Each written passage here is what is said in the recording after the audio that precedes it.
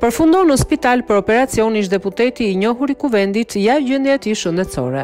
Ish deputeti i Kuvendit i është nënshtruar një operacioni për të cilin nuk ka detaje. Lajmin e ka bërë vetë Eduard Ndocaj duke postuar disa foto nga salla e operacionit në Facebook. Ai duket se e ka kaluar me sukses ndërhyrjen. Çdo betejë fitohet kur ke vullnet dhe besim në Zot. Falenderoj doktor Gazin dhe doktor Andrea Forminga për punën e tyre të shkëlqyer, shkruan ai.